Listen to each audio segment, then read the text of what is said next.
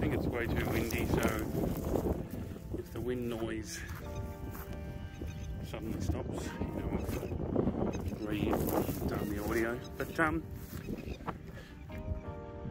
the title says Australian Bush Schools, but uh, this video is actually about Gippsland in Victoria Bush Schools. But the reason I put Australian is that I mean I'm sure people do it, do go looking for them, but if you're the type of urban explorer that doesn't like want all the locations given to you with um, GPS coordinates, you know, you like the hunt. You enjoy the hunt and not having everything handed to you on a platter. Oh, the wind stopped. But anyway, yeah, if you enjoy the hunt, uh, this might be something you enjoy.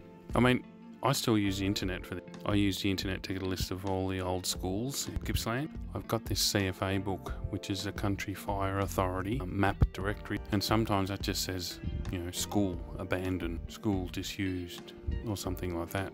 Well, I even check any schools if they're if they're out of uh, town. So you also use the internet for that. You can one you can see whether it's still in use. You can use Google Maps to see if it still exists. Yeah, so you still use the internet. Sometimes they've just moved. Other times they've been turned into houses. Sometimes they're locked up good and proper. Sometimes, like some of the ones I've been showing you, on their last legs. Yeah, but most of them you'll find are gone. And then other times you get to where the school should be, like Morwell Bridge School, 2439 and all that's left is the bridge and uh, vacant lot where the school used to be. So you don't always strike gold. Even when there's nothing like this side here, you can still see the handball court. You probably consider that a fail, but it's also a, success. You've sort of you can tick it off your list or whatever. There is or was that's not a primary school. There was a primary school out there called Trafalgar East Primary. Um, I have seen online that it is someone is living here, but just for the sake of the video, let's have a little look. I, I don't mind driving around like this. Beautiful day, you know, get out in the bush. Yeah, that's it. This looks like a school portable. Yeah, you can see it. I'm not going to even bother getting out with this But that's someone's now living there. So yeah, so sometimes you you strike it. It's a weird house because it's like a portable sort of thing, school portable. But um yeah, sometimes you strike out, they're gone. Sometimes they're there but locked up. Sometimes they're there and you can get into them. Sometimes they're gone. Anyway, Traff East Primary. It's not like in the city where you're just walking around streets or whatever. This is, you know, you, you find other stuff while you're looking for these locations. Originally, I got into bush schools a while back. I went and checked out a school called Jumbuk, and in the meantime, I'd heard that it may have been burnt down. I think it was like whatever seven years ago that I first did it. So yeah, I recently went back, and it reminded me of a few other schools that I'd checked yeah, it sort of got me interested in it again. So I thought I'd get my old CFA directory out and go through it all. I, one of my problems is I'm not very good at ticking it off. I, I'll go for three hours out in the bush and get to the school and find nothing there apart from a bench. I go, oh yeah, I've been here before. Yeah, so there'll be a bit of that happening with me, but you'll be more organised than me, of course. But as I said before, you know, while you're out and about looking for these places, I mean, you can even use your old directories or uh, the internet to find you know, old town halls, churches, even houses. Some of them are quite interesting. I've never really been into houses, but sometimes you find one that's got everything left in it. Um, they can be interesting. So this school that I'm posting a few photos of here is only recently shut down. Like most of these schools, if you could figure out where they were from my video, I'd rather you not go and vandalise it. I think anyone that was going to travel that far and to that much effort just to vandalise an old school, you probably need help. But anyway, but this school, I don't really want it to get vandalised. I'd hate for it to get vandalised, so I'm not going to tell you where this one is because it's still in good nick. But um, yeah, there's so many schools around. Let me know if you find any.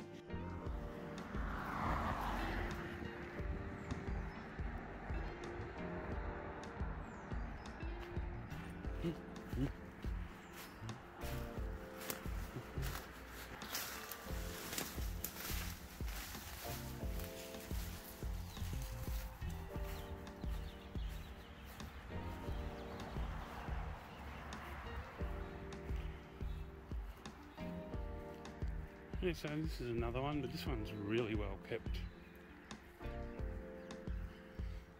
As you can see, I would say this one's still used.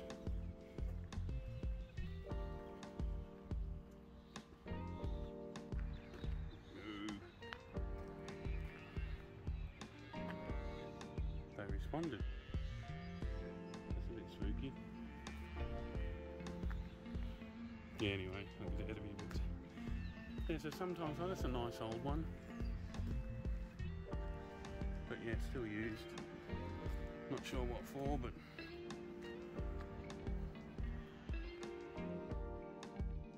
I noticed that Fogarty Avenue has a abandoned school folder on his YouTube channel, so I'll chuck a link somewhere for that. Uh, it was weird. I also noticed when I did my trestle video that uh, he commented on that, and I went to catch up on his YouTube page, and his last post was a trestle bridge video. So maybe we've got a bit more in common if you add the drain, other stuff, abandoned buildings. I don't know if you're listening to this or watching this, and you decide to come out Gippsland one. Maybe we can hook up and do a, a collaboration. Sometimes you get lucky, like with the case of Yulkunga Primary School. Uh, it was open from 1883 to 1971. Uh, had about 30 students in it. As you'll soon see, it's pretty dilapidated. It's a shame that someone can't come in and do something with it. Apparently, the headmaster's uh, house used to be just beside it, so um, there's a farmhouse out the back. I'm wondering whether that could be it. But anyway, let's go in and have a look. so this one's. Oh.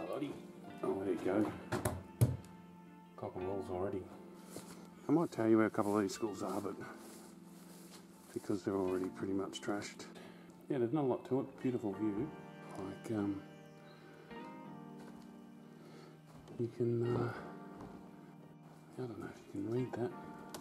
Used to be able to read it, but last time I came here I could read it. I might post the photos I've got from last time.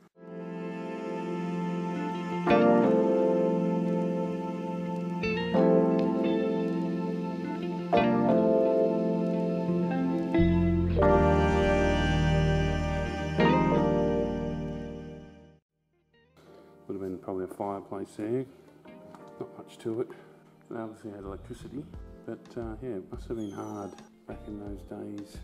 Freezing cold. One's actually got a friend that went to this school, so you know, an older friend obviously, but it's still got a good atmosphere. Like um, there's an old, I don't know what that was, tennis courts or something.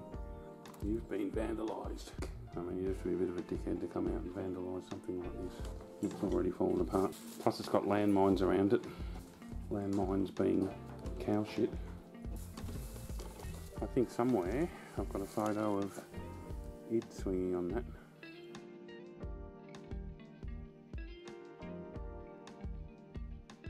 Okay, see ya, Yulkunga Primary School. And there's another sign of electricity. Yeah, so not a lot to see, but but uh, worth a look if you're in the area. Since I've this one, but the neighbours, you know, don't want you hanging around. Um,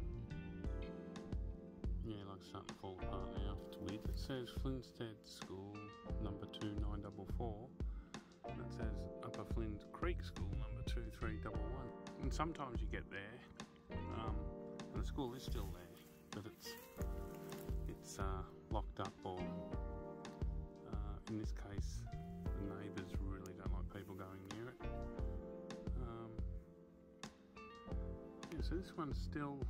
You can see the sign out the front. I don't know if I pick it up in the camera. Yep. It's a bit of a luck of the draw. I've got about a dozen more to check. Probably 10 of those won't be explorable.